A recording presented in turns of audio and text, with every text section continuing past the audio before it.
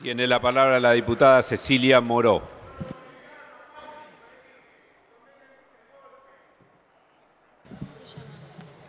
Gracias, presidente. Bolivia sufrió un golpe de Estado tan clásico como repudiable, como aquellos que vimos tantas veces durante el siglo XX en nuestro país y en la región también.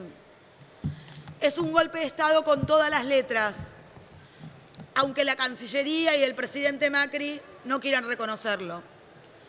La paradoja es que se pasaron toda la campaña diciendo que la elección de octubre, lo que se ponía en juego era la continuidad democrática en la Argentina.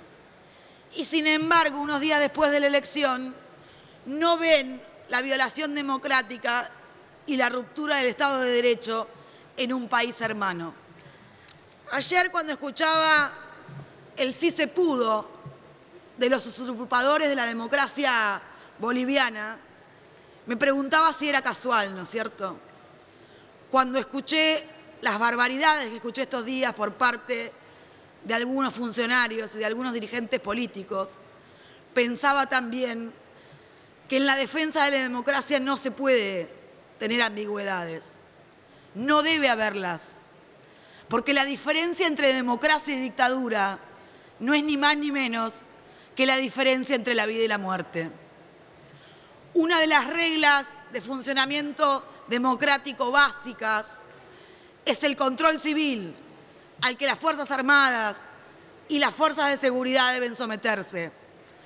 Eso implica, entre muchas otras cosas, que las fuerzas que portan armas no deben hacer exigencias políticas, no deben generar levantamientos armados, no deben promover violencia en las calles, no deben reprimir a dirigentes políticos y movimientos sociales, no deben rebelarse y amenazar su conducción civil, y muchísimo menos aún pedir la renuncia del propio presidente de la Nación. Cualquier análisis, cualquiera, que justifique que las Fuerzas Armadas pueden ser quienes lideran el destino de una nación no es más que una canallada. Llamar impaz al golpe de Estado representa una ruptura con los valores democráticos que nuestro pueblo anidó y que tanta sangre le costó. Nuestro país, cuyo consenso democrático se forjó luego de la experiencia vivida en la última dictadura y que ha dado muestras claras de sostener la democracia como valor supremo, no puede, no debe pronunciarse de manera tibia, aliviando un supuesto vacío de poder. No condenar el golpe en Bolivia y hablar de republicanismo, como lo hicieron mucho estos cuatro años, es cínico y es hipócrita.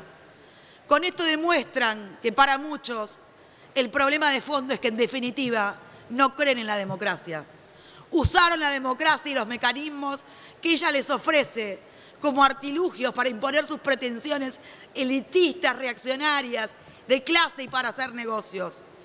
Este Congreso en su conjunto por eso no puede ser tibio.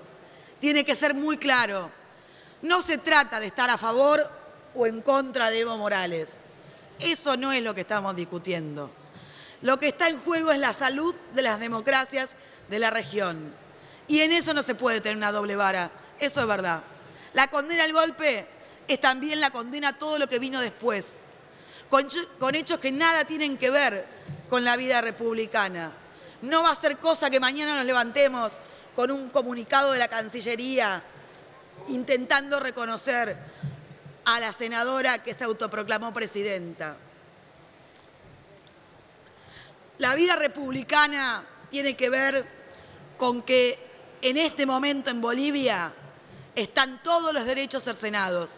Los grupos paramilitares de la extrema derecha están asolando las calles y cazando a personas identificadas con un partido político.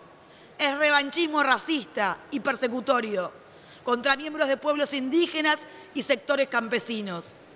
Abuso y violencia sexual contra las mujeres, especialmente las collas. La represión y censura de periodistas para cambiar la información sobre lo que pasa y atemorizar a la población son hechos que se repiten a cada momento. La lucha que tantas veces vimos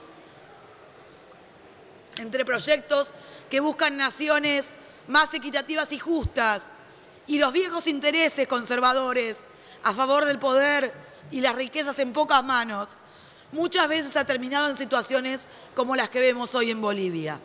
Nunca más podemos poder permitirlo.